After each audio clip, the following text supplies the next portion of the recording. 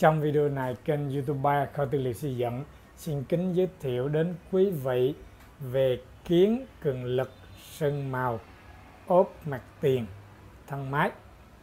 Thì à, thường là à, mặt tiền thân máy được ốp bằng các chất liệu như đá granite, đá marble, à, gạch men, gạch granite hoặc dán giấy dán bờ.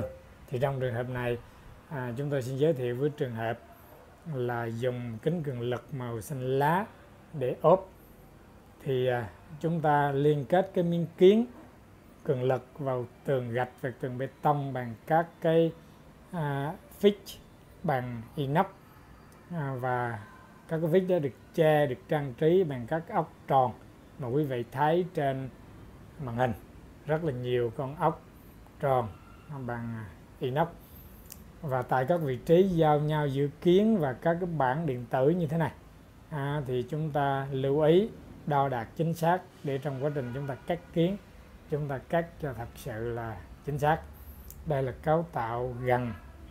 À, chúng tôi quay gần một con ốc trang trí để quý vị nhìn à, quan sát và tham khảo. Còn đây là cái má bên trong à, ngay vị trí cửa của à, thang máy. Thì hai cái miếng kiến à, vuông góc với nhau thì được à, che cái à, vị trí tiếp giáp bằng những cái thành V inox. Bên đây là bên trong chúng ta sẽ đi vào thử bên trong cái thân máy.